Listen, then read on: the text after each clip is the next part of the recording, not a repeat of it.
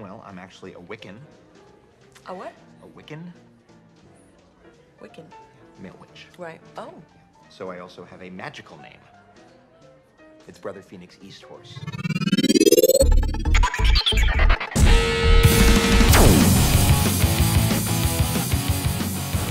Steve Samblis. And I'm Bradley Daymond. This is our IC Places instant movie review of um, that Oh, thing she. wait, wait, wait a second. Here, here. Uh, Before you say that, let me, let me give you a little. Uh, let me give you a riddle. Okay, a riddle. All right, all right. What do you call something? Yes. With eight supporting actors. Yes. All right. Eight And two actors. hours and nine minutes of life you will never see again.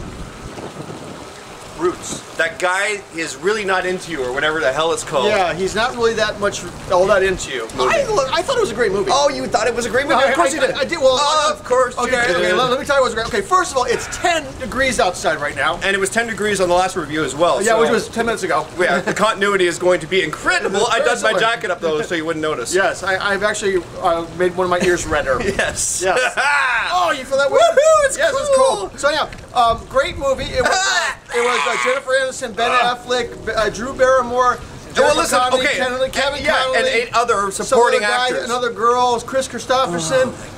Um, by the time I finished, the movie will be over. No, but but no, it, it was well written. Uh, It was it was interesting. It, okay, I felt like I was watching a, an episode of Seventh Heaven.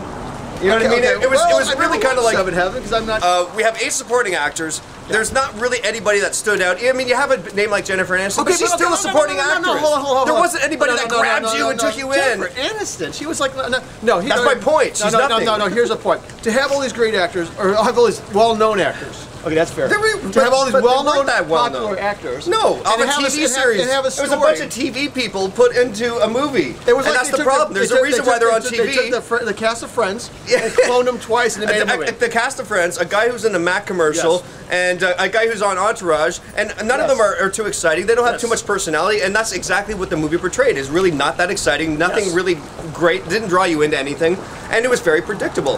I mean, you know, not, not to say it was bad. No, this was. This was It was. Com- I mean, I walked out. I walked out an hour later. Smartly ran, written movie. It was it was smart.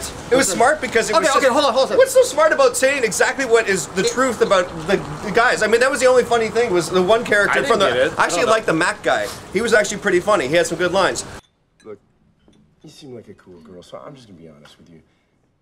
Connor's never gonna call you. Oh, really? How do you know? Because I'm a guy, and it's just how we do it. He Said it was nice meeting me. I don't, I don't care if he said you were his favorite female since his mommy and Joanie Cunningham. Over a week went by, okay, Gigi? And he didn't call you. But maybe he did call and I didn't get the message.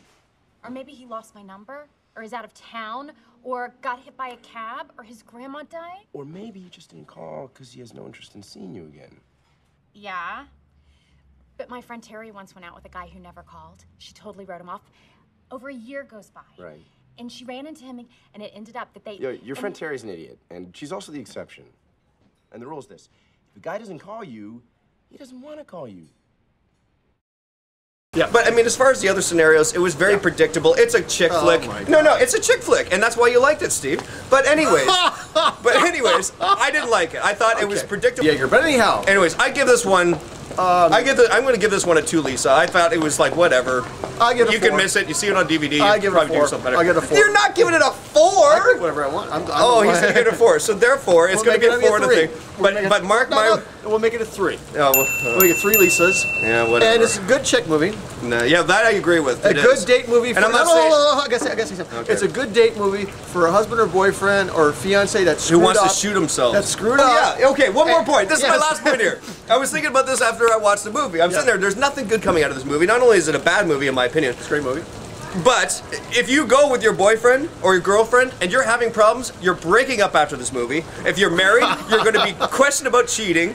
And if you haven't found a date, it's probably because you like this movie. Because if you like this movie, you probably never kissed a dude, girl. Dude, I can't feel my ears. Okay, so let's try. I can't feel. Okay, so we're gonna we're gonna show you the uh, trailer, Yes, we will. and uh, I'm Steve Samblis, And I'm Bradley Davis. and we'll see you After the movie. after the movies. Never forget the first boy she ever likes. Why did you do that? Because you smell like dog poo. Honey, do you know why that little boy did those things? Because he likes you. That's the beginning of our problem. We're all programmed to believe that if a guy acts like a total jerk, that means he likes you. Hey Connor, I hadn't heard from you, and I mean, how stupid is it that a gal's got to wait for a guy's call anyway, right? we're all equal, right? Um, more women are accepted into law school now than men. Call me. He's totally gonna call. This guy, he MySpaced me. Ouch. MySpace is the new booty call. Oh. You know, Anna gave me the old, I'll call you right back. Call back? Should you call back? No. I know, I'm gonna call back and say I'm going to bed. What? No. It's a genius idea. It's 9.30. I just need you to stop being nice to me unless you're gonna marry me. This feels like a trick. There are many people who never get married. Look at Al Pacino. Never been married. Happy as a clam. Would that am I would I be Al Pacino in this scenario? You have no messages. Were you obsessing, pacing back and forth, staring at your phone for days? Maybe he lost my number, or is out of town, or got hit by a cab. Or maybe he has no interest in seeing you again.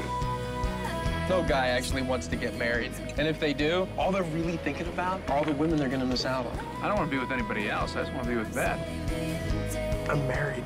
I don't do this. Hmm, what if you meet the love of your life? Are you supposed to let them pass you by? So we're friends. Yeah. You know, you may be the best friend I've ever had. From New Line Cinema comes a comedy about meaning what you say. I gotta go to bed, though. Is that an invitation? What? Without saying what you mean. Oh, God, that was cheesy.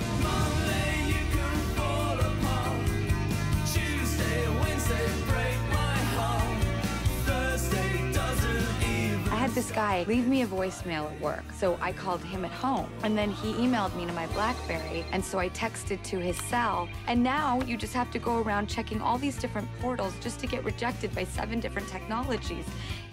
It's exhausting.